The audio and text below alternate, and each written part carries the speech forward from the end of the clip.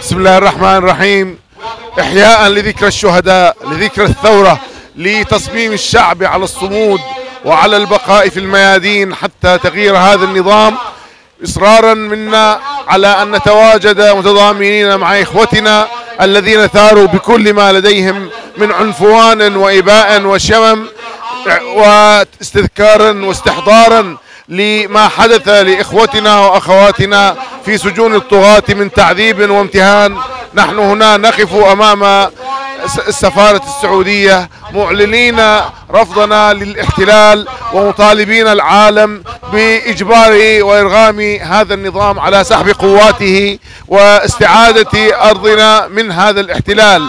إن البحرين اليوم محتلة من قبل القوات السعودية. وما الوجود الخليفي إلا بسبب هذا الاحتلال.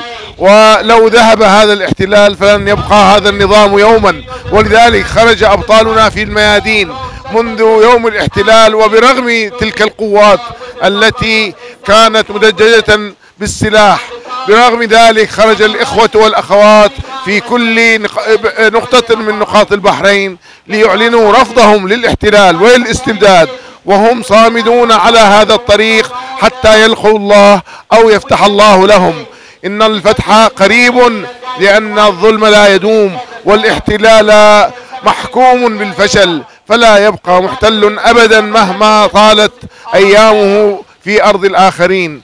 إننا هنا نؤكد دعمنا وتضامننا مع شعبنا مع سجنائنا مع نسائنا المعتقلات المرتهنات في سجون الطغاة مع كل طفل فقد حياته أو مع كل جنين سقط من رحم أمه بسبب الغازات القاتلة التي يطلقها المحتلون والمعتدون والطغاة على أبناء شعبنا.